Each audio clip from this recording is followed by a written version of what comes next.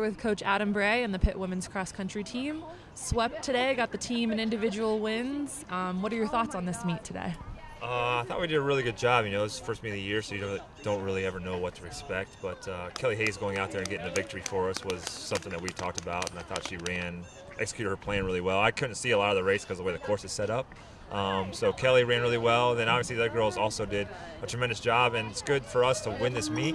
Um, you know, we're holding a couple kids back uh, until next week, so for us to win with not really our A team, I think that speaks volumes for where we're at.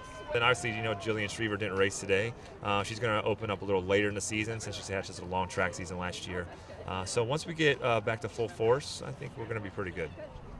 We're here with Coach Brian Jackson of the Pitt men's cross country team. Um, Coach Jackson, you had a champion today, and Jackson Morton. What were your thoughts on his race today?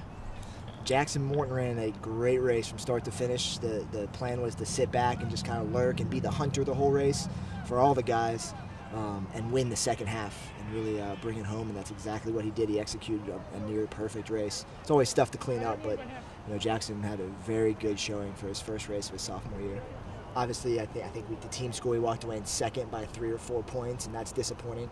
Um, you know, the, the, mission was to win, um, and you know, obviously, no matter who we run in our top in our 12 guys, we need to be a team that's going to win this type of a race. So we still have some work to do, um, but definitely a good showing up front, going one-two with Jackson and Seb.